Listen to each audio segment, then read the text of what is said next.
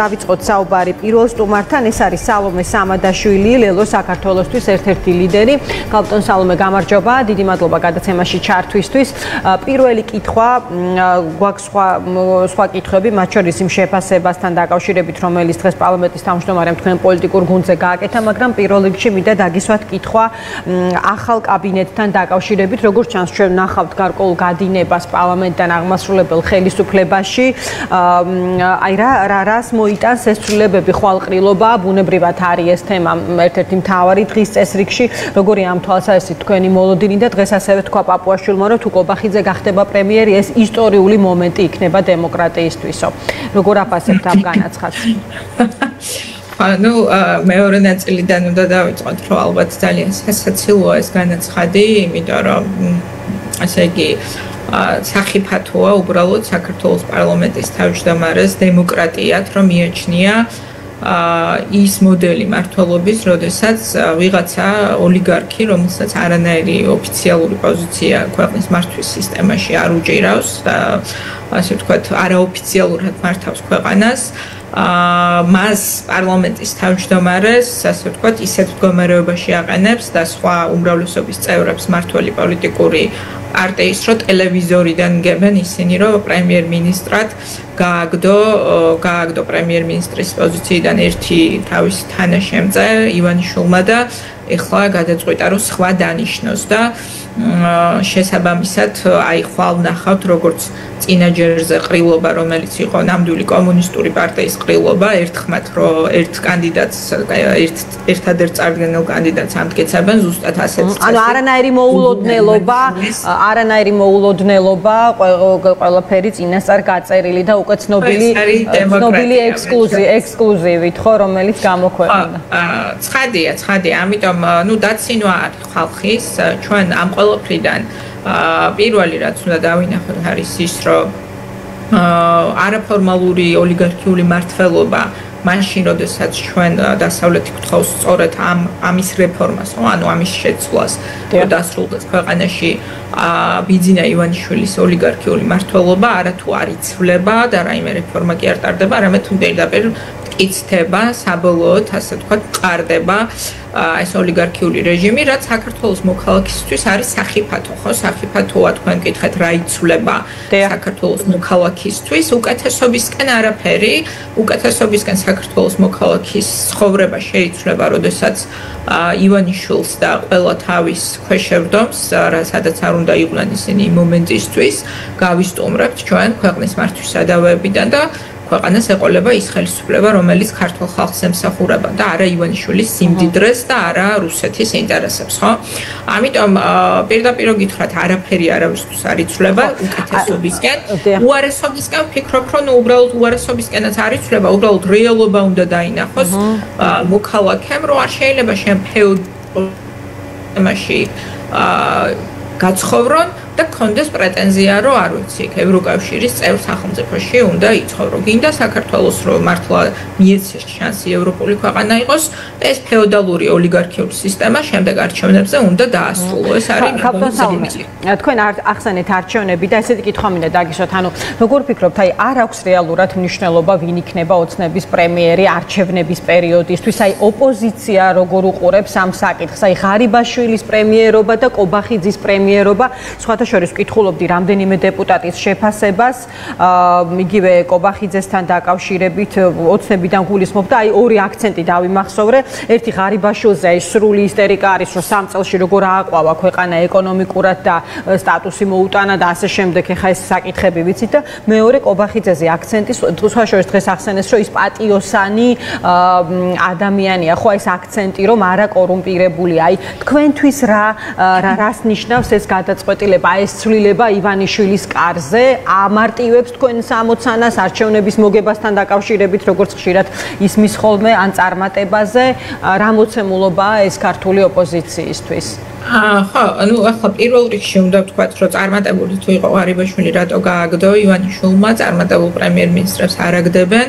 კორუმპირებული თუ იყო, რატო არ ისჯება კორუფციისთვის და მეორეჯერ აგდებს მას ივანიშვილი და თან რაღაც კორუფციაზე მინიშნებებს აკეთებს და მაშინ გამოძიება რატო არ იწება და საერთოდ ასე ვთქვათ რატო არ ისჯება ამიტომ ეს ყველაფერი არის ტყუილი ხო სინამდვილეში. ну ივანიშვილმა გადაწყვიტა რომ თვითონ დაბრუნდა რამდენიმე კვირის წინ.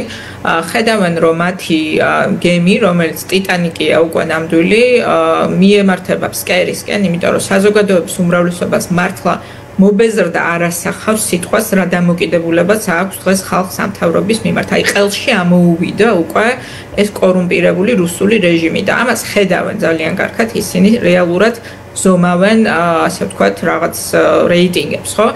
ამიტომ ახლა როგორ ჩანს ფიქრობენ რომ ეს რაღაცა კონვულსიური მოძრაობები მათ გადაარჩენს, არანაირი მნიშვნელობა არ აქვს, თქვენ კითხეთ ჩვენთვის რა მნიშვნელობა აქვს? თქვენთვისაც არანაირი მნიშვნელობა არ აქვს. ხო, თქვენს თქვენს ამოცა ამოცანის თვალსაზრისით, რომ აი დაამარცხოთ ოცნება გაუშვათ საფრთხე, როგორც ამოცანის თვალსაზრისით, მხოლოდ მარტივდება ის, რომ კრიზისი, რომელიც რომელშიც შესულია ეს პარტია, ხო? ნუ თუ შეიძლება რომ ქართულ ოცნებას საერთოდ პარტია დაარქვა, იმიტომ რომ ეს რაღაცა ივანიშვილის მონათა დაჯგუფება არის, რომელსაც პარტია ქვია და რეალურად უბრძანებ პარტია რას ნიშნავს, ხოლო რაღაც იდეოლოგია მაინც უნდა ქონდეთ და ეს ხალხი მინარიან საერთოდ და რა უნდა თვითონაც არიციან. ივანიშვილი უბრალოდ რასაც უბრძანებს, ამ ბრძანებების შესასრულებლად არიან შეკრებილი და ну ალბათ საკუთარი ზოოპარკის ბინადრებს მე პატივს ცემს ივანიშვილი. ანუ თქვენი ამოცანა მარტივდება. ამიტომ მარტივდება ამოცანა იმ თვალსაზრისით, რომ მათ შორის ჩვენ საერთაშორისო პარტნიორებისთვის, მათ შორის ჩვენი ხალხისთვის, პირველ რიგში ქართული ხალხისთვის ნათელი უნდა იყოს, რომ ტიტანიკს არ უნდა ჩააყოლონ ამ ქვეყნის მომავალი, ჩვენი ქვეყნის მომავალი ჩვენ ხელშია და უნდა გადავარჩინოთ და ამ ხალხზე რომ ასე ვთქვათ ამ მათ ჩამოშორება ქვეყნის მართვისა და ვებიდან რომ არის მნიშვნელოვანი მე ვფიქრობ რომ ეს კიდევ უფრო უკეთესად გამოჩნდა მაგრამ ამ იმ ამ თვალსაზრისი თუ შევხედავთ ალბათ გაადვილებულია ამოცანა რომელიც ჩვენს წინაშე დგას გალდოსალმე მოდი მოვისმინოთ რა თქვა დღეს პარლამენტის თავმჯდომარემ თქვენს პოლიტიკურ ჯგუფთან დაკავშირებით და შემდეგ ავაგრძელოთ საუბარი. კი ბატონო ლელო ზოგადად საინტერესო საინტერესო მოვლენა არის ქართულ პოლიტიკაში. ერთადერთი მათ პოლიტიკური მიღწევა რაც არის, თუ დავაკვირდებით, არის ის, რომ 2020 წლის არჩევნებში მათ მიიღეს მოსახლეობის 3%-ის ხმა და ერთ წელიწადში შეძლეს ის, რომ ჩამოვიდნენ 2%-ამდე. და ამის შემდეგ რატომღაც სულ დიდგულზე არიან და გონიათ, რომ მათ უნდა განსაზღვრონ პოლიტიკური დღესდღეობით. არსებობს ეგრეთ ასეთი ჩიხუახუას სინდრომი. როდესაც ჩიხუახუა ის პატარა, ასე ვთქვათ, ზომით პატარა ძაღლია, მაგრამ დიდი გული აქვს იმ ხრივ, გონია რომ თავის ზომაზე აქვს გადაჭარბებული წარმოდგენა და შემდეგ შეებრძოლება ხოლმე უფრო სხვა ზომის ასე ვთქვათ, ცხოველებს და საბოლოო ჯამში ადეკვატურად ვერ აფასებს, მოკლედ საკუთარ წონას და ზომას. და ვფიქრობ აი ეს სინდრომით არის დღეს განსაკუთრებით ველო წარმოქმნილი ჩიხუახუა სინდრომი აქვს, დიდ გულზე არიან, რაღაც ახალი მწვერვალებია, მე მგონი ოცნებაში მიზნად დასახული დასაბრობად, იუმორის თუ არა ეს მაყურებელმა გადაწყვიტოს, თქვენი კომენტარი რა არის ალმე ამ განცხადებასთან დაკავშირებით, რომ დიდ გულზე ხართ და ვერ შეწყვდებით იმ დიდ ძაღლს, რომელსაც ჩიხუახუასავით ემუქრებით?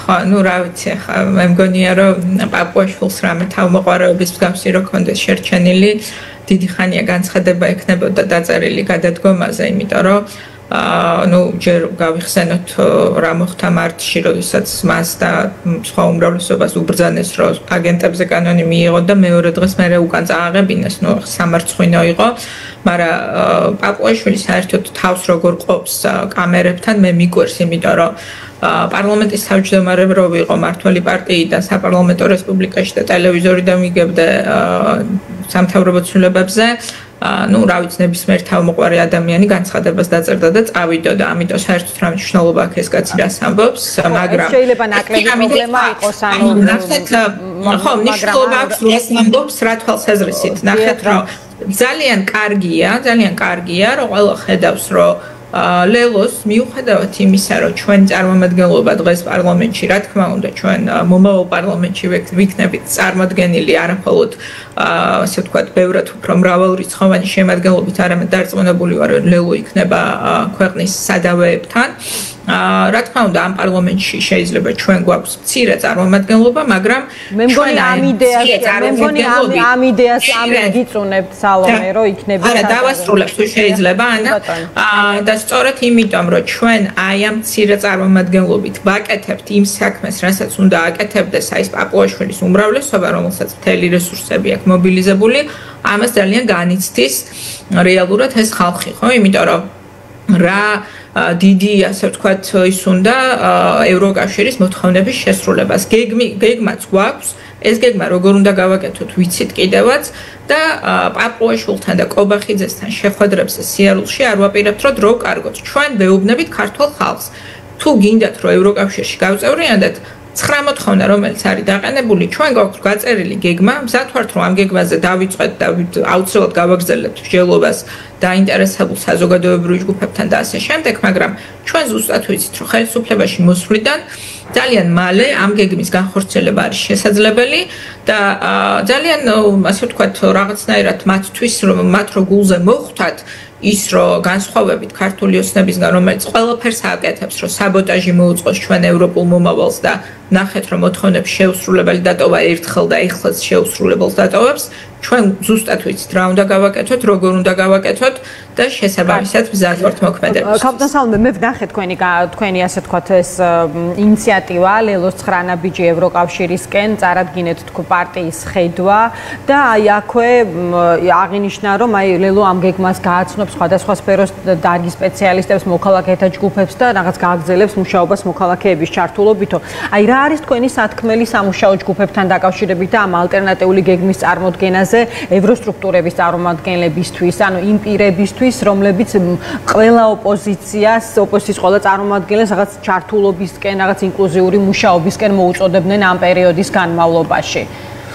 ეს არის სწორედ ჩვენი ინკლუზიური მუშაობა გამოიხატება იმ ვიტყვით იგივეს, რასაც ვამბობდით, ხო? იმიტომ რომ ნახეთ უკვე დისკრედიტირებულია ეს რაღაცა პროცესი რომელიც ქართულ მოსნებამ წამოიწყო ჯერ მაშინ წინაჯერზე და სრულიად უშედეგოდ დასრულდა ეს სამშა ჯგუფები ეხლაც ამ შეხვედრიდან ვინც გამოვიდა ოპოზიციის წარმომადგენლები თქვეს რომ ვერაფერი ვერ მოისმინეს საინტერესო ამიტომ ეს პროცესი რო ფიქციაა ეს უკვე დადასტურებულია ამის საპირწონეთ ლელოს ახლა რაღაც ფიქციურ შეხვედრებში მონაწილეობის ნაცვლად ჩვენ გვაქვს კანონ პროექტები ინიცირებული პარლამენტში, არა ერთი უკვე, დიდი ხანია ძალიან. გვაქვს კონკრეტული სამოქმედო გეგმა, ეს არის ოპოზიციის თანამონაწილეობა. ოღონდ რეალობა ის არის, რომ ხელისუფლების შეცვლის გარეშე ვერანაირი არის ჩვენი სამოქმედო გეგმები, ცხადია, ქვეყნის სამოქმედო, იმიტომ რომ ეს ხრანაბიჯი ევროპისკენ ლელოს ხრანაბიჯი კი არ არის, ეს არის ქვეყნის ქართული ხალხის ხრანაბიჯი ევროპისკენ და რო განხორციელდეს ეს ხრანაბიჯი, ამისთვის გჭირდება ხელისუფლების შეცვლა და ქართული ხალხი ხარდაჭერა. ეს არის გზავნილი, რომელიც ჩვენ გვაქვს ხალხისთვის, ჩვენ ვერ მოვატყუებთ ჩვენ ხალხს, საკმარისი არის ტყუილები. უნდა უთხრათ სიმართლე ხალხს, სიმართლე არის ის, რომ ეს ხელისუფლება არანაირი რეფორმის განხორციელებას არ არაპირებს და სიმართლე არის ასევე ის, რომ ჩვენ გვაქვს კონკრეტული გეგმა ეს რეფორმა როგორ განხორციელდეს და გვჭირდება ხალხის ფერმერთა. დიდი მადლობა. დიდი მადლობა სალომე დაგემშვიდობებით. სალომე სამადაშვილი, ლელოს ერთ-ერთი ლიდერი საუბრობდა დღის ამბების პირდაპირ ეთერში.